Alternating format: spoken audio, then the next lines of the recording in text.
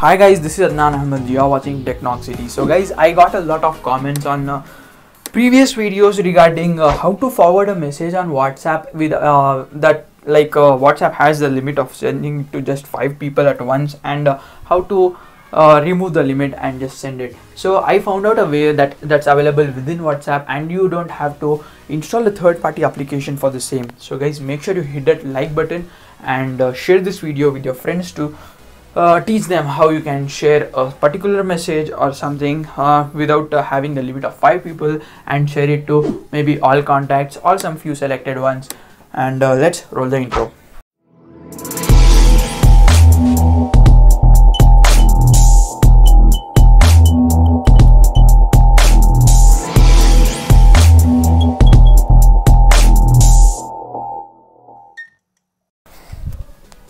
so all right guys we are here on the channel. Let's go back to the whatsapp application.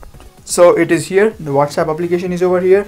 And these are the contacts and uh, i'll blur out the contacts and i'll just show, show you the top uh, and the right side of the screen so that you uh, guys know what i am talking about. So guys first uh, for for now let's uh, share this thing. Uh, let's share the channel link with people. Hope you guys also do that.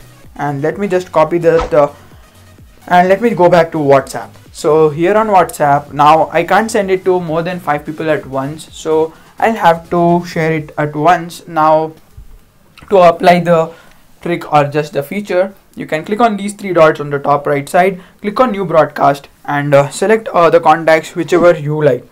Just select few contacts and uh, like i'll select more than uh, five so that you guys can just uh, see i've selected two now.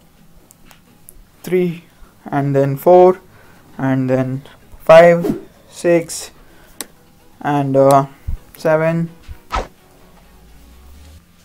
Just selecting a few random ones uh, so I have selected 8 here. You can just select all of them but I don't want to disturb everyone. So over here then click tick mark and then this will become a new broadcast here.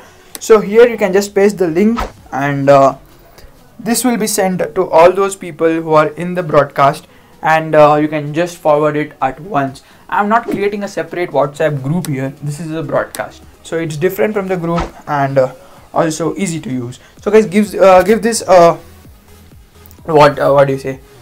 Like give this video a like share it with your friends and leave a comment if you guys knew about this feature or if you already know uh, do you use it uh, like very oftenly or have you just uh, got to know about it through this video? So meet you in the next one guys. That's it in this video. Subscribe to the channel. Like this video. Share it with your friends. Meet you in the next one. Until then keep uh, sharing the videos. And uh, watch the videos completely. I need more watch time. Meet you in the next one. Goodbye